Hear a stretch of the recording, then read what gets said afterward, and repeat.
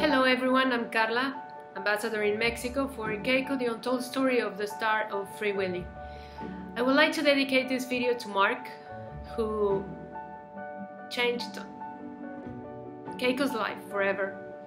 And I would like to dedicate this video to Teresa too, because if it wasn't for her film, we wouldn't know what happened to Keiko, especially us Mexicans.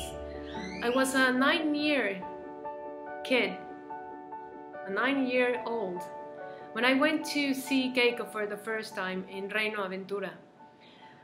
I remember thinking to myself, wow, I really need to do this when I grow up. I really want to train dolphins and orcas.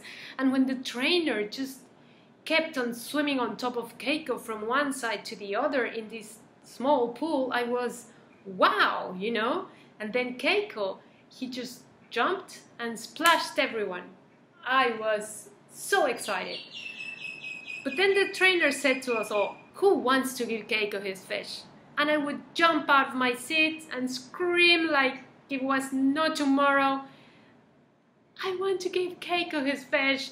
And the trainer, she didn't pick me. So it was, what a drama. Oh my God, the drama, the drama. Oh, she didn't pick me. I wanted to give Keiko his fish. So I said to my mom, you know what, mom? I'm to be a trainer when I grew up. I want to train dolphins and orcas. But then I grew up and then I went back to see Keiko and this time I didn't like what I saw. I saw this huge orca in this tiny tiny pool with his fin all flapped to the side and kind of funny looking skin. So I asked my mom, Mom, what's going on with Keiko? And she said, I don't know. I'm not an orca expert. And I'm like, hmm, I'm not liking this. So then I went back on the third time that was it for me. That was it. I was like, no, no, no, no, no, this is all wrong. What's going on with these people? What's going on with Keiko? He, I could see he was all lethargic. So I became a scuba diver years later and I started to learn by myself. I bought many encyclopedias to know about wildlife in the ocean and I learned that orcas actually have quite the uh, family structure. There's a mom, there's a dad, there's the auntie and the uncle and the cousins and the baby. So I was like, why would I separate this pod? Who am I?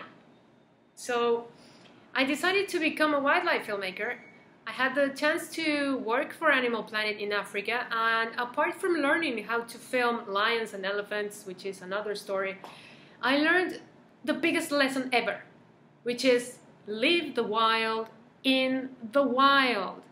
Do not grab a lion and take it to a zoo. Do not grab a tiger and take it to a zoo. Do not grab a dolphin and take it to an aquarium where it can swim happily with human beings. No! So I had the. I don't know if it's luck because I don't believe in luck. I think it was. It was supposed to be. I found out about Keiko, the untold story of the star of Free Willy, and I contacted them. I sent an email to Teresa and I said, Teresa, I'm Karla, I'm a Mexican, I knew Keiko, I saw Keiko three times. On the first one, I wanted to become a, a trainer. On the second one, I was a bit, uh, maybe, uh, nah. And on the third one, I was like, oh my God, this is it. I'm not doing this. So three years later, uh, Teresa and I have been working on my charge as ambassador for Keiko. We've been taking the film to schools in Mexico so that kids can learn what's behind the industry of orcas and dolphins in captivity. So, Mark, my message to you, and I should have said to you many, many times, I know I, I told you in about two or three emails, thank you, Mark.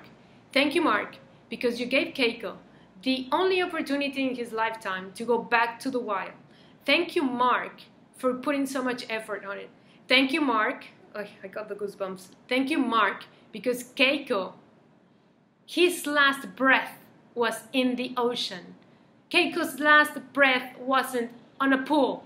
So, Mark, wherever you are, I thank you and I commit myself and I promise you that your mission is not over. I'm going to be sure and I'm going to make sure that the word gets out there that kids in Mexico and kids in Latin America, kids all over the world know about Keiko and how fantastic he was, how nice he lived out there, how he hunt, how he tried to see, uh, well, to get a little bit of uh, girl attention, how he swam from Ireland all the way to Norway with no one telling him to do so. So, Mark, Teresa, both of you, both of you deserve all my love and gratitude. Because as a Mexican girl that saw Keiko three times, I cannot tell you how happy I am that you made this film and that you want to educate people about marine life in captivity. So, if you want me to come to your school, please email us. You, you know how to contact us, and if you want us there, we'll be there. We'll do our best to be at your school so all of us can make this a better place.